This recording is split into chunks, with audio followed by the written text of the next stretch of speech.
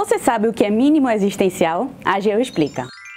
O mínimo existencial é o conjunto básico de direitos fundamentais à dignidade da pessoa humana. Para a maior parte da doutrina, engloba saúde, educação, acesso à justiça e assistência aos desamparados, como alimentação, vestuário e abrigo. O conceito surgiu na Alemanha em uma decisão de 1953 pelo Tribunal Federal Administrativo. Essa decisão uniu a dignidade da pessoa humana à liberdade material e o Estado social possui um caráter programático, ou seja, o Estado deve desenvolver programas para que alcancem os indivíduos. Na formulação e execução das políticas públicas, o mínimo existencial deve nortear o estabelecimento das metas prioritárias do orçamento. Ou seja, os recursos orçamentários necessários à promoção desses direitos têm prioridade em relação aos demais.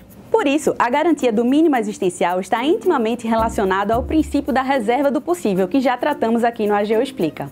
Vale relembrar que a reserva do possível impõe limites para a efetivação dos direitos fundamentais, como os direitos sociais, sejam fiscais ou não.